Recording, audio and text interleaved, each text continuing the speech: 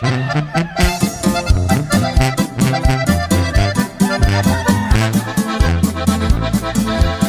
entrenado para matar, levantar, torturar con estilo y con clase. Patrocinó su carrera, sus gastos de escuela, señor comandante. Se graduó con excelencia en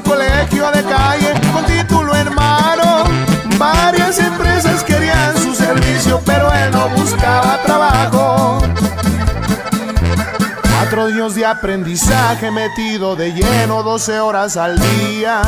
Sus maestros fueron maleantes, soldados, marinos y hasta ex policías.